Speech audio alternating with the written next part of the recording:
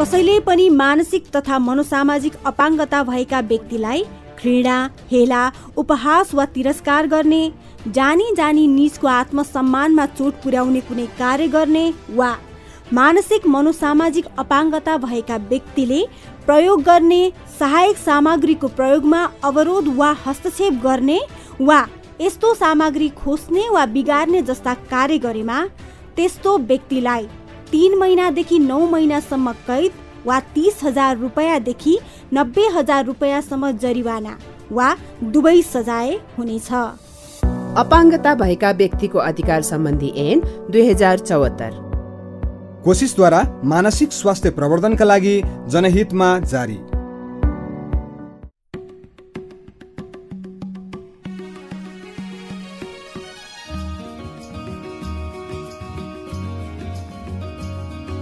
कार्यक्रम सबैका लागि मानसिक स्वास्थ्य।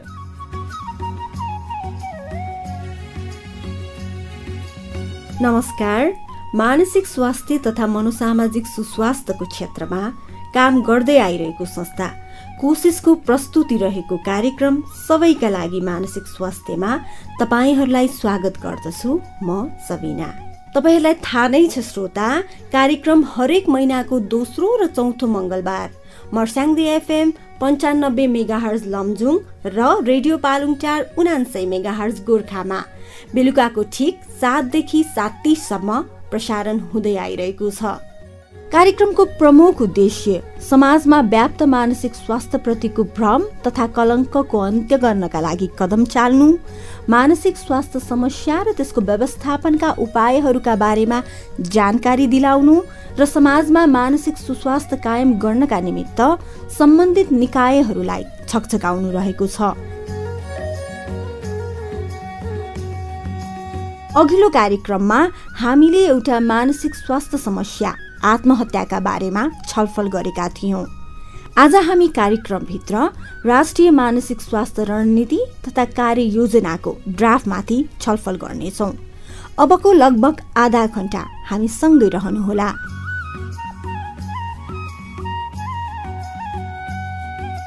नेपालमा गरिएका विभिन्न अध्ययन अनुसार पच्चिसदेखि तीस प्रतिशत व्यक्तिहरूमा एक वा त्योभन्दा धेरै मानसिक स्वास्थ्य समस्याहरू देखिने गरेका छन्। तर नेपालमा स्वास्थ्यमा खर्च हुने रकमको न्यून प्रतिशत लगभग एक प्रतिशत रकम मानसिक स्वास्थ्यका लागि छुट्याइएको छ। सन् उन्नाइस सय सन्तानब्बेमा बनेको राष्ट्रिय मानसिक स्वास्थ्य नीतिमा उल्लेख गरिएका कुराहरू नेपालका सबै जनतामा न्यूनतम मानसिक स्वास्थ्य सेवाको उपलब्धता र पहुँच निश्चित गर्नु मानसिक स्वास्थ्यका क्षेत्रमा जनशक्ति तयार पार्नु मानसिक बिरामीका आधारभूत मानव अधिकारको संरक्षण गर्नु र मानसिक स्वास्थ्य सम्बन्धी जनचेतनामा सुधार गर्नु जस्ता कुराहरू अझैसम्म कागजमा मात्रै सीमित छन्। मानसिक तथा मनोसामाजिक अपाङ्गता भएका व्यक्तिहरूलाई लक्षित गरेर ल्याइएको कार्यविधि दुई हजार पचहत्तर। पारित भएको तीन महिना बितिसक्दा पनि अझै कार्यान्वयनमा आएको छैन। अझ सरकारले निशुल्क उपलब्ध गराउने भनिएको एघार प्रकारका औषधि पनि स्थानीय तहमा मानसिक स्वास्थ्य सेवाको पहुँच नहुनु आफ्नो गाउँठाउँमा मनोपरामर्शदाताको अभावका कारण सेवाग्राहीले अझै पनि किनेर खानुपर्ने बाध्यता रहेको छ।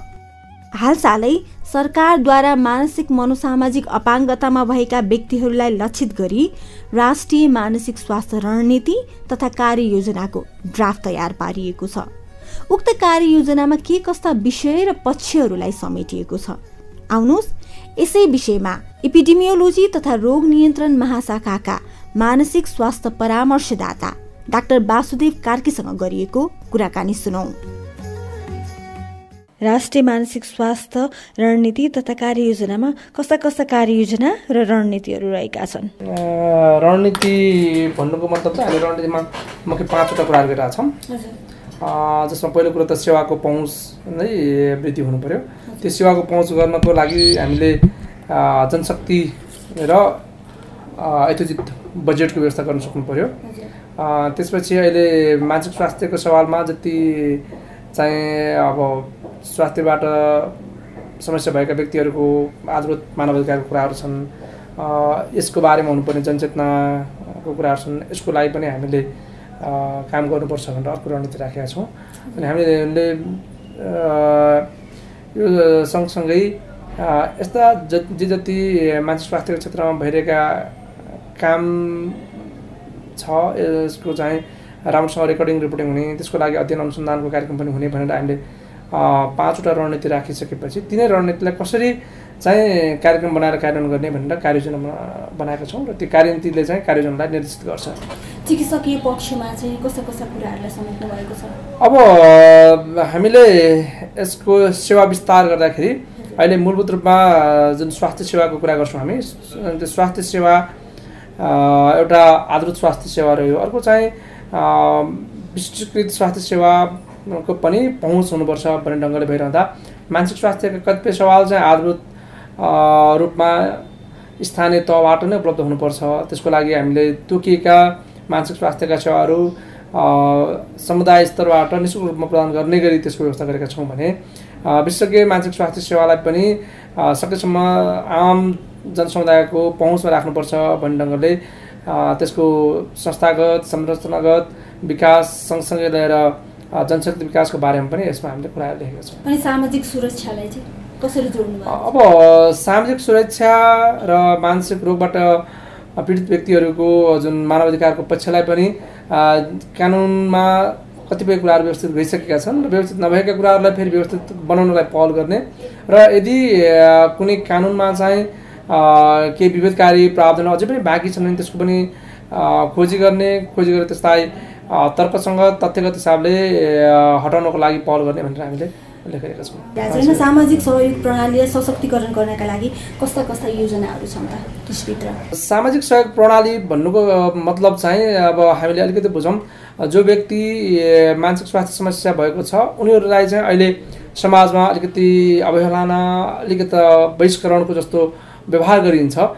त्यो कुरालाई न्यूनीकरण गर्नको लागि हामीले यो अशक्त असार व्यवहारिसे भएका व्यक्तिहरूको उपचार तथा पुनर्स्थापना कार्यविधिमा पनि प्रस्तुत तोकिएका छौँ। त्यहाँ हरेक समुदायको एउटा व्यक्ति आफूमा जिम्मेवार रहन्छ र नेपाल सरकारको एउटा स्थानीय तहमा गएर उसले जानकारी गराउँछ। यस्तो व्यक्ति चाहिँ हामीसँग सम्पर्कमा छन्। मेरो जानकारीमा छन्। यसलाई सेवा दिनुपर्छ भन्ने उसले जानकारी गराउँछ। त्यो बापत चाहिँ सरकारले सरकारको सेवा प्रदायक निकायसँग सम्पर्क स्थापित गरिदिन्छ। त्यो एउटा पक्ष रह्यो भने उपचार र पुनर्स्थापनाको हकमा पनि भोलि गएर ती व्यक्ति स्वस्थ भइसकेपछि फेरि समाजमा पुनर्स्थापित हुनको लागि फेरि त्यही समुदायले उसलाई सहजीकरण गर्ने अभ्यास गर्छ। जसको लागि चाहिँ हामी स्वास्थ्यको कोणबाट एउटा कुरा छ भने सामाजिक सुरक्षाको अर्को कोण छ। जसको लागि चाहिँ हामीले अपाङ्गता भएका व्यक्तिहरूको अधिकार सम्बन्धी ऐन दुई हजार चौहत्तरले नै व्यवस्था गरिदिएको छ। तिनै प्रावधानहरूलाई कसरी व्यवहारिक गराउने भन्ने ढङ्गले पनि हामीले त्यसलाई जनचेतना अभिवृद्धि गर्ने र स्थानीय सरकारलाई अझ बढी आफ्नो दायित्वप्रति चाहिँ सचेत गराउनको लागि यस्ता व्यक्तिहरूको एउटा सो हेरचाहसम्म गठन गर्ने उहाँहरूलाई अलिक बढी आफ्नो अधिकारको बारेमा जानकारी गराउने र उहाँहरूको आवाजलाई चाहिँ सरकारको आफ्नो आफ्नो तह र निकायसम्म पुर्याउनको लागि पहल गर्ने तपाईँहरूले भर्खर भन्नुभएको कुरा कार्यान्वयन गर्न कतिको गाह्रो छ? अब गाह्रो भन्दा पनि यी सबै कार्यक्रमका कार्यान्वयन गर्ने चाहिँ एउटा प्रक्रिया हो।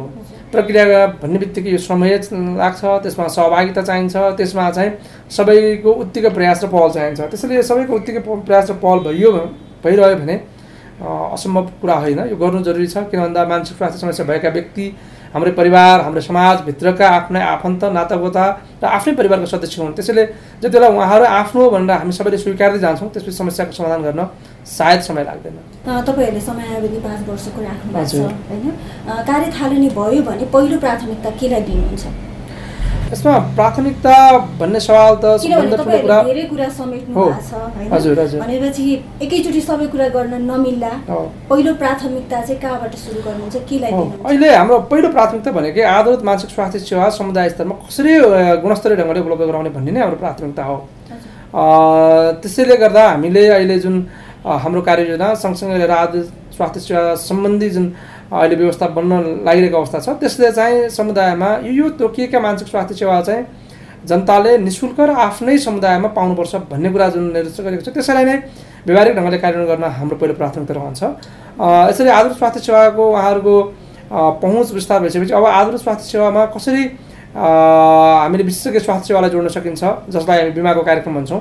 बिमाको कार्यक्रमबाट चाहिँ विशेषज्ञ मानसिक स्वास्थ्य सेवा समुदायमा नै कसरी उहाँहरूलाई बढी बिमित हुने र उहाँहरूको सेवाको सुनिश्चित गर्ने भन्ने बारेमा हामी केन्द्रित रहन्छौँ। त्यो सँगसँगै रहेर उहाँहरूको अधिकारका कुरा जनचेतनाको कुराहरू सँगसँगै आउने विषय रहे अनि त्यसको लागि त जनशक्ति चाहिएला हामीसँग त दक्ष जनशक्तिकै अभाव छ। हजुर।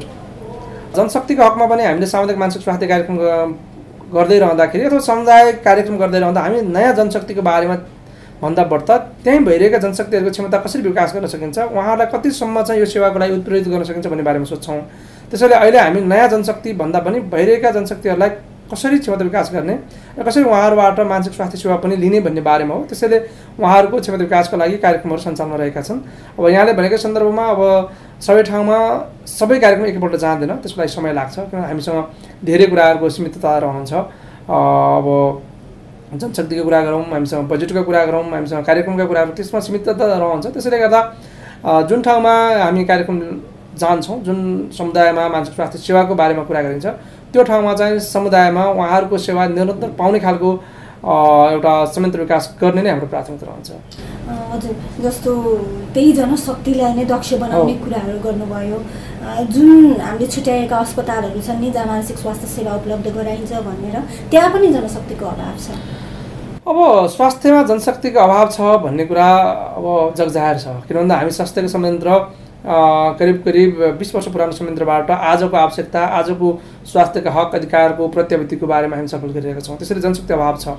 यस बारेमा नेपाल सरकारले पनि महसुस गरेर केन्द्रीय अस्पतालहरूको व्यवस्थापन तथा संस्थागत सर्वेक्षणको सुरुवात गरिसकेको छ। त्यसै गरेर अब अहिले हाम्रो कर्मचारी समायोजन अन्तर्गत समायोजन भएर जाने स्वास्थ्य कर्मीहरूको सूची प्रकाशनको तयारी र कतिपय त प्रकाशन भइरहेका छन्। उहाँहरूलाई पदस्थापन क्रमशः हुँदै जान्छ। त्यसपछि समुदाय स्तरमा कर्मचारीहरूको व्यवस्थापन भइसकेपछि अप कर्मचारीहरूको लागि लोकसेवा आयोग त्यो पनि लोकसेवा आयोगको विभिन्न तहका संरचनाबाट उहाँहरूको पदपूर्तिको प्रयास यी सम्पूर्ण कुराहरूको लागि प्रयास सुरुवात भइसकेको छ। अब यो एउटा प्रक्रिया हो। प्रक्रिया पूर्ण प्राय कहिले पनि हुँदैन तर एउटा अब चाहिँ हुँदैछ भन्नको लागि पनि केही समय हामीले पर्खनुपर्छ यो रणनीतिलाई कार्यान्वयन गर्नका लागि संस्थागत विकासलाई कसरी अगाडि बढाउने सोच बनाउनु भएको छ? अब हामीले संस्थागत संरचनाको कुरा गर्दाखेरि चाहिँ हामीले सोचेको के छ भन्दा समुदाय स्तरका अहिलेकै संस्थागत संरचनाबाट नै हामीले सेवा प्रवाह गर्ने जसमा चाहिँ हाम्रा सेवा प्रदायकहरूको क्षमता विकास गरिनुपर्छ। त्यसपछि हामी प्रदेश स्तरका जुन अस्पतालहरू हुन्छन् अहिले अस्पतालहरूको पनि वर्गीकरणको सिलसिला छ त्यसमा हामीले राखेका छौँ। पचास भन्दा बढी बेड हुने अस्पतालहरू जुन प्रदेश स्तरका अस्पतालहरू रहन्छन् क खको वर्गीकरण छ। त्यहाँ चाहिँ मानसिक स्वास्थ्य सेवा उपलब्धता हुनुपर्छ जसमा चाहिँ बहिरङ्ग सेवा मात्र होइन अन्तरङ्ग सेवा पनि उपलब्ध हुनुपर्छ भन्ने कुरा अहिले बहसमा आइरहेको छ। त्यसै गरेर प्रदेशमा रहने स्वास्थ्य विज्ञान प्रतिष्ठान र मेडिकल कलेजहरू छन्। त्यहाँ पनि बहिरङ्ग र अन्तरङ्ग सेवा सँगसँगै पुनस्थापनाको लागि पनि सेवा सञ्चालन हुनुपर्छ भन्ने कुरा हाम्रो अहिलेको रणनीति कार्ययोजनाले भनेको छ। र यही अनुसार चाहिँ अहिले हामीले स्वास्थ्य जनसङ्ख्या मन्त्रालयले स्वास्थ्य संस्थाहरूको वर्गीकरण गर्ने सिलसिलामा पनि यो हामीले उहाँहरूलाई लेखेर नै यसरी व्यवस्था गर्नुपर्छ भनेर दिएको अवस्था छ।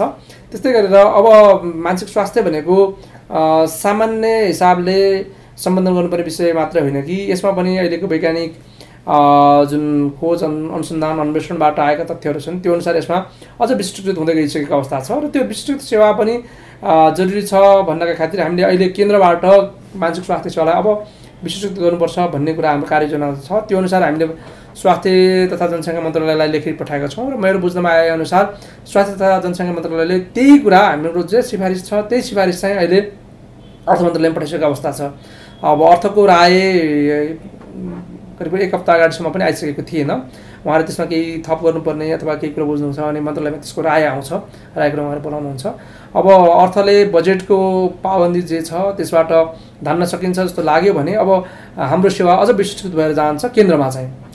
त्यो केन्द्रमा भएको विशिष्टकृत चाहिँ हामीले यही कार्ययोजनामा के राखेका छौँ बिस्तारै फेरि केन्द्रबाट सञ्चालित जुन प्रदेश तहमा प्रदेश स्तरमा रहने प्रदेशको भौगोलिक स्थानमा रहने केन्द्रबाट सञ्चालित अस्पतालहरू रहन्छन् सङ्घीय अस्पतालहरू। त्यहाँ पनि विशिष्ट मानसिक स्वास्थ्य सेवा सुरुवात गर्नुपर्छ भन्ने कुरा हामीले योजनाबद्ध ढङ्गले उल्लेख गरेका छौँ र त्यो अनुसारको चाहिँ नेपाल सरकारको प्राथमिकता त्यो अनुसारको जुन सङ्गठन र व्यवस्थापन सर्वेक्षणहरूमा उल्लेख हुँदै जाँदाखेरि चाहिँ मानसिक स्वास्थ्य समुदायमा पनि उपलब्ध हुने र विशिष्ट मानसिक स्वास्थ्यको पनि उपलब्धताको लागि हामीले एक खालको दूरदृष्टि राखेका छौँ।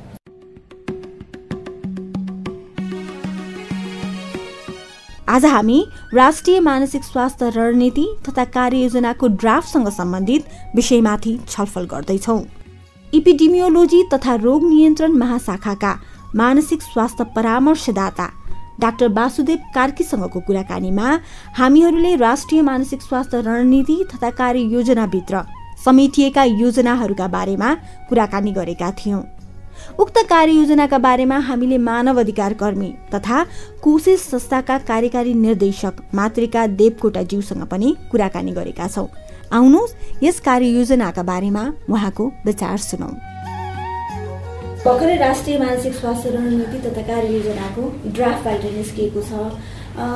त्यो सम्बन्धी सरको राय के छ? धन्यवाद। सर्वप्रथम यो सरकारी पक्षबाट भएको इनिसिएटिभ भनौँ न अब पहिला केही पनि हुन्थेन भने यो कुरा अगाडि आएको लागि यसको लागि चाहिँ यसको एकदमै प्रशंसा गर्न चाहन्छु। यो एक कदम अगाडिको कुरा छ र यसमा चाहिँ मानसिक स्वास्थ्यको चाहिँ एकदमै कम्प्रिहेन्सिभ कुराहरू चाहिँ स्वास्थ्यको कुरा चाहिँ टचरी केयरदेखि लिएर अनि हेल्पसम्म लिएर सबै मानसिक स्वास्थ्यको सेवा शिक्षामा स्वास्थ्यमा वैदेशिक रोजगारीमा आत्महत्या रोकथाममा यो सबैतिर चाहिँ जुन एकदमै चाहिँ भेरी इन्ट्रेस्टिङ छ। अब यसको कार्यान्वयन चाहिँ कसरी हुन्छ? त्यो कुराहरू पनि एउटा आउला हेरौँ। अब सकारात्मक भएर सोचौँ। यस क्षेत्रमा वर्षौँदेखि काम गरेको अनुभवका आधारमा के कुरा अपुग छ जस्तो लाग्छ तपाईँलाई? जस्तो कस्तो भने मूलत प्राथमिककरण। जुन अझै पनि शारीरिक स्वास्थ्यका विभिन्न आयामहरूमा जसरी प्राथमिकता छ। जुन र त्यसै मानसिक स्वास्थ्य भनेको चाहिँ हरेक शारीरिक स्वास्थ्यको चाहिँ क्रस कटिङ ताकि यो नाक कान आँखा घाँटी छाती मुटु मृगौला के के हो यो सबै स्वास्थ्यसँग मानसिक स्वास्थ्य जोडिएको हुन्छ। शारीरिक ओभरअल शारीरिक स्वास्थ्यमा मानसिक स्वास्थ्य जोडिएर आउनुपर्ने हुन्छ ताकि मानसिक स्वास्थ्यलाई चाहिँ यो नन कम्युनिकेबल डिजिज अन्तर्गत मानसिक स्वास्थ्य भनेर यो कुरा चाहिँ यो कुरा चाहिँ यो लजिकल छैन। किनभने जुन एनसिडीका नन कम्युनिकेबल डिजिजका कार्डियोभास्कुलर डिजिज अनि आसमा सिओपिडी र यी समस्याहरू पनि धेरै जसो चाहिँ स्ट्रेसको कारणले नै हुन्छ। र यस समस्यामा भएका व्यक्तिहरू चाहिँ मेन्टल हेल्थ इस्युको लागि हाई भलरेबल छन् मेन्टल हेल्थ इस्यु हुनको लागि। त्यसकारण अब हाम्रोमा अहिले पनि अब मानसिक स्वास्थ्यको फोकल पोइन्ट राखिएको छ यसको राम्रो तर चाहिँ त्यो अझै पनि के छ त त्यो स्वास्थ्य मन्त्रालय विभागमा चाहिँ जुन भनौँ न एउटा रोग नियन्त्रण महाशाखाको अन्तर्गत फेरि नसर्ने रोग अन्तर्गत फेरि मानसिक भनेर। यो त के भने यो नसर्ने रोग सर्ने रोग होइन कि यो त मानसिक स्वास्थ्यले चाहिँ शारीरिक स्वास्थ्य बराबर प्राथमिकता पाउनुपर्छ। जुन पहिला त्रिपन्न सालमा नै मानसिक स्वास्थ्य महाशाखा राखिन्छ भनेको छ भने एउटा रोग नियन्त्रण महाशाखा हुन्छ भने मानसिक स्वास्थ्य महाशाखा किन नराख्ने? अलिकति हाई लेभलको त्यो किसिमको अर्गानोग्राम भएर भयो भने यसले चाहिँ मल्टी सेक्टर रूपमा चाहिँ यसलाई कोअपरेसन गर्नको लागि सही सहिलो हुन्छ जस्तै भनौँ न स्वास्थ्यका कुरा चाहिँ स्वास्थ्य मन्त्रालयले गर्न सक्ला। तर शिक्षाको कुराको लागि त जुन शिक्षा मन्त्रालयको प्लानिङ लेभलसम्म चाहिँ चाहिँ त्यो लेभलको चाहिँ स्वास्थ्य मन्त्रालयको पनि त्यो लेभलको कम्तीमा सह सहसचिव लेभलको व्यक्ति भएर त्यो किसिमको प्लानिङ भएर अनि त्यस्तै शिक्षामा होला समाज कल्याणमा होला अनि त्यो इन्टिग्रेटेड प्लानिङ भएर सुरुवातमै गयो भने भोलि कार्यान्वयनको लागि पनि सहिलो हुन्छ होला। तर यसो हेर्दाखेरि चाहिँ अब यो स्वास्थ्य मन्त्र स्वास्थ्य मन्त्रालय स्वास्थ्य सेवा विभाग त्यसो रोग नियन्त्रण महाशाखा त्यसमध्ये यो नसर्ने रोग तथा मानसिक स्वास्थ्य शाखा अनि त्यसपछि मानसिक स्वास्थ्य युनिट भनेर कता कताबाट र यसलाई चाहिँ जबसम्म चाहिँ यो सबै प्लानिङमा चाहिँ ताकि त्यो ल एउटा यो विषयमा हेरिदिन मिटिङ भयो। मिटिङमा चाहिँ ल गृहका पनि आउनुभयो समाज कल्याण आउनुभयो। एबिसिडी भनेर टोकन होइन कि? त्यो व्यक्तिहरूको पनि स्वास्थ्य मन्त्रालयको सरह नै सहभागिता भएर किनभने ठुलो अहिले जस्तो आत्महत्याको महामारी चलिरहेको छ जो नेपाल सरकारको जुन सस्टेनेबल डेभलपमेन्ट गोलमा पनि यसलाई घटाउने भनिएको छ भनौँ। तर त्यसको लागि त गृह मन्त्रालय शिक्षा मन्त्रालय वैदेशिक रोजगार मन्त्रालय पनि सँगसँगै टेबलमा बस्नु पऱ्यो नि त स्वास्थ्य मन्त्रालयसँग। यो प्लानिङको लागि भोलि ताकि यसलाई ओनरसिप यसको बजेट कार्यान्वयनको लागि त्यो लेभलमा गएको जस्तो लाग्दैन। र यो डाट चाहिँ एक लेभलबाट माथि जानुपर्छ र यो स्वास्थ्य मन्त्रालयको नीति योजना महाशाखाबाट र अरू मन्त्रालयका चाहिँ नीति योजना महाशाखा र त्यसपछि अर्थसँग प्लानिङ कमिसनसँग गराएर यसलाई मल्टी सेक्टरल रूपमा गृहले पनि यसलाई बजेट छुट्याउनु पऱ्यो समाज कल्याणले छुट्याउनु पऱ्यो शिक्षाले पनि छुट्याउनु पऱ्यो त्यो गरेर अनि इच त्यो सेक्टरको चाहिँ रोल के हो चाहिँ त्यो क्लियरली डिफाइन गरेन भने पोलिसी नै त त्रिपन्न सालमै पनि पोलिसी बनायो भने त्यो एउटा स्ट्राटेजी पेपर बन्दैमा एप्रिसिएटिभ समथिङ इज गुड होइन केही नहुनुभन्दा समथिङ तर तर हामीले भनेको त के भने पिपुलले त्यो राइट इन्जोय गर्नको गर्न पाउन पर्यो कार्यान्वयन हुनु पर्यो। जुन सर्वसाधारण दूर दराजमा चाहिँ हुम्लामा मुगुमा तराई सप्तरीमा झापामा तेह्रथुममा कसरी यो सेवा जान्छ त? जस्तो मानसिक स्वास्थ्य सेवा भनेकै के हो त? कि अब बाह्रवटा फ्री सेन्सर डगले त्यही अब पुऱ्याइदिने सबै हेल्पस हेल्पसमा पुऱ्याइदिने सबै त्यही औषधि खाने त्यही हो कि अथवा अनि परामर्श भनेको के हो त? र जस्तो तल्लो लेभलमा जसरी स्वास्थ्यको विषयमा चाहिँ रोकथाम र प्रबन्धनको लागि भनेर जुन पहिलाका जुन एचआइभी एड्सको कुराहरू परिवार स्वास्थ्यका कुराहरूमा जुन किसिमबाट फोकस गरियो नि त्यस्तै मानसिक स्वास्थ्य पनि यो चाहिँ म्यानेज गर्न सकिन्छ र त्यसपछि अर्को चाहिँ मानसिक रोग होइन कि मानसिक स्वास्थ्यको प्रवर्तन गर्नु पर्यो ताकि हेल्थी लाइफ स्टाइलमा चाहिँ फिजिकल हेल्थ जस्तै मानसिक स्वास्थ्य पनि मनमा पनि स्वस्थ हुनुपर्छ भन्ने कुराहरू चाहिँ त्यो प्रमोसनको कुराहरू कति कति छ त? र अनि त्यसकारण यो प्रिभेन्सन प्रमोसनका कुराहरू त्यसपछि ट्रिटमेन्टका कुराहरू जुन मानसिक स्वास्थ्यको जुन न एक्सरे गरेर देखिन्छ न र जाँच गरेर देखिन्छ यसलाई त बहुआयामिक भनौँ न साइकोलोजिकल इन्टरभेन्सनबाट एङ्गलबाट हेर्दा कसरी देखिन्छ? यसलाई होइन साइकेट्रिक नर्सिङबाट कसरी देखिन्छ? अकुपेसन थेरापिस्टबाट कसरी देखिन्छ? साइकेट्रिक्सबाट कसरी देखिन्छ?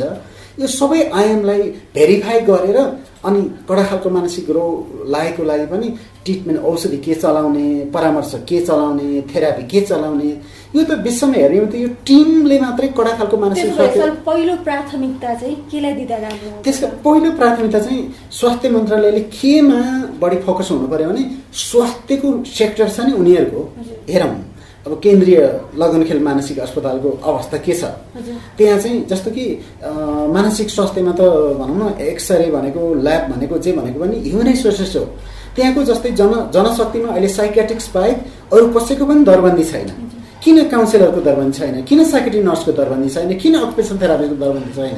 कि मानसिक स्वास्थ्य भनेको चाहिँ ट्याब्लेट खाएर मात्रै उपचार गर्ने हो त? कि र साथसाथै सोसियल वर्करको दरबन्दी जब त्यस्तै गएर प्रोभिन्सियल लेभलमा जाँदाखेरि अहिलेको प्रोभिन्सियल लेभलको सबैभन्दा ठुला अस्पतालहरूमा दरबन्दी छ जस्तै केही महिना अगाडि चाहिँ उसमा विराटनगरमा जाँदा त्यहाँ चाहिँ दुईजना मनोचिकित्सकको दरबन्दी छ तर त्यहाँ अन्तरङ्ग सेवा पनि सेवा छँदै छैन बहिरङ्ग सेवा पनि नाम मात्रैको छ तर प्राइभेट सेक्टरमा एकदमै बाहिर चाहिँ महँगो छ बाहिर क्लिनिकमा सेवा जबसम्म नेपाल सरकारको स्वास्थ्यको आफ्ना संरचनाले सेवा दिँदैनन्। तब सर्वसाधारणले त कहाँ त क्लिनिकमा गएर त्यो doctor fee high doctor fee तिरेर गरेर कसरी गर्न सक्ने कुरा आउँछ? र त्यस कारण अलिकति यो स्वास्थ्य मन्त्रालयले चाहिँ यो क्यापासिटी बिल्डअप जुन स्वास्थ्य हेल्थ स्ट्रेन्थेनिङ के के भन्छन् नि? जस्तो यसको लागि चाहिँ पहिलो चरणमा चाहिँ जुन भनौँ न मानसिक स्वास्थ्य क्षेत्रमा चाहिँ ह्युमन रिसोर्सेस र त्यसपछि यो क्वान्टिटीलाई अहिले बढाउनु परेको छैन क्वालिटीलाई भने मानसिक स्वास्थ्यको लागि चाहिने खालको जनशक्ति उपचारको लागि त्यसपछि त्यहाँ भएका बेडहरू त्यहाँको शान्त यसैलाई यसैलाई व्यवस्थित बनाउनु पर्यो। अहिले ठुल्ठुलो कुरा गर्न भन्दा पनि अब भनौँ न भुइँको टिप्छु भन्दा पनि पोल्टाको के छ त? र अहिलेको स्थिति मानसिक स्वास्थ्य क्षेत्र जुन स्वास्थ्यभित्रको चाहिँ छुट्टै होइन कि स्वास्थ्यभित्रमा चाहिँ यो रियल मिनिङफुल इन्क्लुजन गर्नु पऱ्यो र जस्तै एउटा भनौँ न अर्थोपेडिक एउटा सेवा चाहिँ एउटा प्रोभिन्स लेभलमा लगेर सुरुवात गरेको छ भने अर्थोपेडिकको लागि के के सामान चाहिन्छ? होइन फिजियोथेरापी चाहिएला त्यहाँको लागि होइन अर्थोपेडिक सर्जन चाहिएला भने अनि मानसिक स्वास्थ्यको लागि नि त्यहाँ चाहिँ त्यही खालको साइकोथेरापी चाहिएला अनि त्यहाँ चाहिँ काउन्सिलिङ चाहिएला त्यस्तो उपचार पछाडि चाहिँ परिवारसँगको सम्बन्ध के कारणले समस्या भएको र उसलाई कस्तो खालको थेरापी ट्रिटमेन्ट दिने कुराहरू त्यो त त्यो त एउटा एउटा स्ट्यान्डर्ड हुनु पऱ्यो नि। अन्तर्राष्ट्रिय एउटा स्टा स्ट्यान्डर्ड अनुसार चाहिँ चाहिँ उपचार मात्रै भएर होइन कि गुणस्तरीयता जुन भन्छन् नि क्वालिटी क्वालिटी भनेको चाहिँ त्यो मापन गर्न आवश्यकता छ। मानसिक स्वास्थ्यको क्षेत्रमा चाहिँ स्वास्थ्य मन्त्रालयलाई चाहिँ मेरो अनुभवमा चाहिँ उहाँहरूले अहिले धेरै भनौँ न शिक्षातिर अनि त्यसपछि वैदेशिक रोजगारतिर समाज कल्याणतिर जानुभन्दा नि आफूले गर्ने सेक्टर के हो? प्रिभेन्सन प्रमोसनको उहाँहरूको प्रोग्राममा मानसिक स्वास्थ्य के छ? मानसिक सुस्वास्थ्य मानसिक रोगको कुरा होइन हो। के के गर्दै हुनुहुन्छ र के गर्न आवश्यकता छ?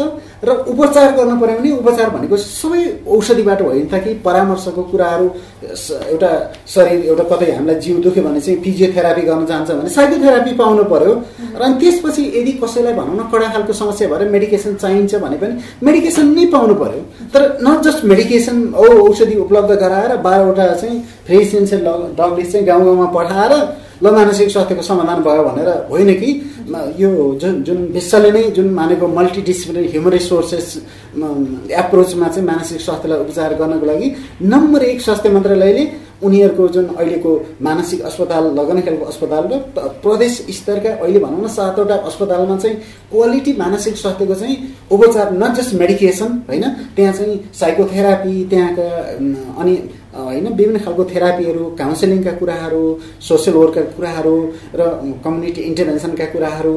अनि त्यो र त्यो खालको चाहिँ टचरी सेवा र कम्युनिटी इन्टरभेन्सनको सेवा सुरुवात गऱ्यो भने त अनि साथसाथै चाहिँ अब भनौँ न हामीले शिक्षालाई पनि त्यसपछि लबिङ गर्दै जाने शिक्षालाई अनि अरू समाज कल्याणलाई स्थानीय विकासलाई पनि बिस्तारै बिस्तारै ल्याउने। पहिला स्वास्थ्य मन्त्रालय नै यो जम्मै शिक्षाको काम नै गर्छु स्वास्थ्यको काम नै गर्छु जम्मै कुरा गर्छु अनि गर्ने चाहिँ के हो? त्यो स्पष्ट हुन आवश्यकता छ जस्तो लाग्छ।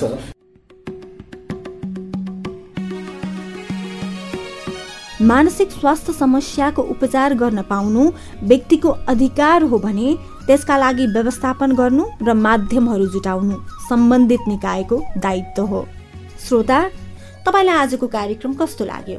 प्रतिक्रिया दिन सक्नुहुनेछ। प्रतिक्रियाका लागि कार्यक्रम सबैका लागि मानसिक स्वास्थ्य तपाईँहरूले हामीलाई विभिन्न स्थानमा सम्पर्क गर्न सक्नुहुनेछ जसका लागि तपाईँहरूले हामीलाई गोर्खामा पालुङटार नगरपालिका चार कुने ठाँटी पोखरीमा सम्पर्क गर्न सक्नुहुनेछ। तपाईँहरूले हामीलाई फोन पनि गर्न सक्नुहुनेछ जसका लागि हाम्रो फोन नम्बर रहेको छ अन्ठानब्बे पाँच दस छब्बिस सात नौ सात। फोन नम्बर फेरि एकपटक अन्ठानब्बे पाँच दस छब्बिस सात नौ सात। त्यस्तै तपाईँहरूले हामीलाई बेसी सहर नगरपालिका भीमसेन स्थान लमजुङमा पनि सम्पर्क गर्न सक्नुहुनेछ र हामीलाई फोन पनि गर्न सक्नुहुनेछ। जसका लागि हाम्रो फोन नम्बर रहेको छ अन्ठानब्बे पाँच दस छब्बिस सात नौ सात। अन्ठानब्बे पाँच दस छब्बिस सात नौ सात। त्यसका साथै अन्ठानब्बे पाँच एघार छ चार शून्य छ एक मा पनि सम्पर्क गर्न सक्नुहुनेछ। एकचोटि फेरि अन्ठानब्बे पाँच एघार छ चार शून्य छ एक। त्यसका साथै तपाईँहरूले हामीलाई कोसिस राष्ट्रिय मानसिक स्वास्थ्य स्वावलम्बन सङ्गठनमा पनि सम्पर्क गर्न सक्नुहुनेछ जसका लागि कार्यक्रम सबैका लागि मानसिक स्वास्थ्य पोस्ट बक्स नम्बर आठ नौ सात पाँच इपिसी सत्ताइस शून्य छ ललितपुर नेपाल। तपाईँहरूले हामीलाई फोन पनि गर्न सक्नुहुनेछ जसका लागि फोन नम्बर रहेको छ शून्य एक एकाउन्न नब्बे एक शून्य तिन। त्यसका साथसाथै तपाईँहरूले हामीलाई इमेल पनि गर्न सक्नुहुनेछ जसका लागि हाम्रो इमेल ठेगाना रहेको छ INFO info at the rate KOSHISH Koshish NEPL Nepal dot ORG यतिन्जेलसम्म कार्यक्रम सुनेर साथ दिनुभयो। धेरै धेरै धन्यवाद।